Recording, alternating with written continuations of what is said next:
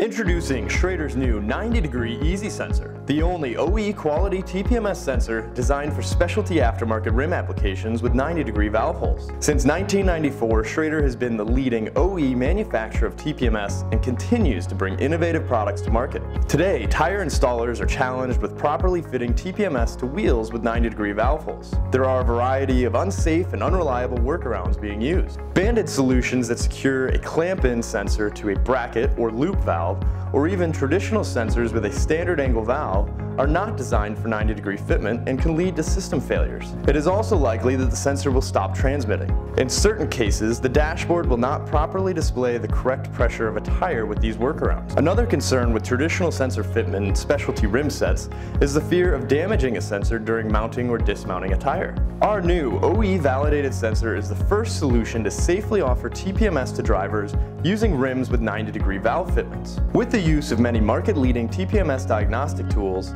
this sensor features the same programmable EZ-sensor technology that can be applied to over 96% of vehicles on the road today.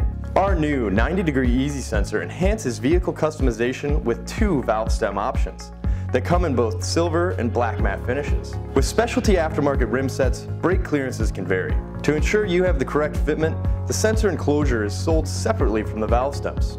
This revolutionary solution will help increase sales by allowing you to safely offer TPMS on specialty aftermarket rim sets to your customers. For more information, visit schradersensors.com. Thank you for inspiring our future.